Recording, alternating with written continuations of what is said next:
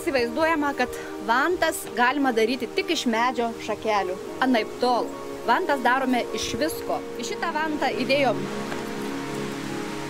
kraujažolės įdėjom, kietį įdėjom, bitkreslę, gisloti, e, putokšlį.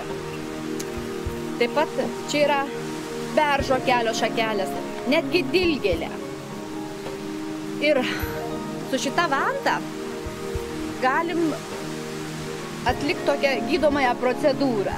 Jeigu yra problema su sanariais, imam vieną pusę, čia kur sudėtos dilgėlės, ir tiesiog vanojimo metu e, keletą kartų pereinam, stuburą pereinam, juosmens rytį pereinam ir paskui gerai ištrinam berželio vantą. Tuo eisim į karą.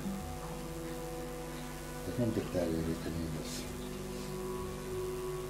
vandenukas, šventas vandenukas, kuriuo mes paskui apsiplausim, kuriuo nupilsim pirmą kartą. Tas vandenukas vadinasi mylingas. Žodžio meilė, myliu, mylinė ir panašiai. Mūsų senolių išmintis leido tai jiem padaryti, kada jie neturėjo keraminių, metalinių indų. Ir visi tokiu būdu gebėjo pasišildyti savo. Nusiprausti, įsivirti arbatą. Ir va šitą procesą dabar galima tiesiog pavadinti ritualu. Taigi jis retai kur yra naudojamas. Yeah.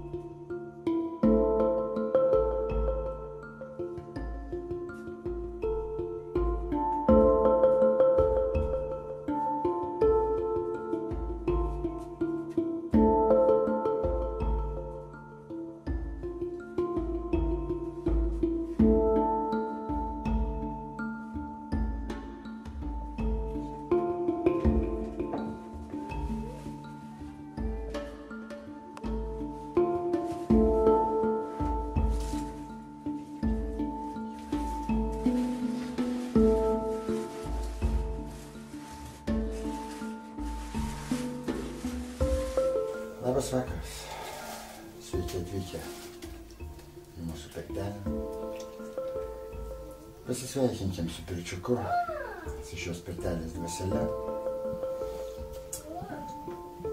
Na ir sudėkim į tą mūsų šventą, mylintą vandenuką pačius geriausius palinkėjimus nuo širdies. kad būtų gera pirtyje, kad būtų gera po pirties, kad būtų gera prisiminti šią pirtį, kad būtų gera. Kuo didžiausios sveikatos visiems. Nuoširdaus atviro bendravimo, draugiškumo, santaros, vienas kitus.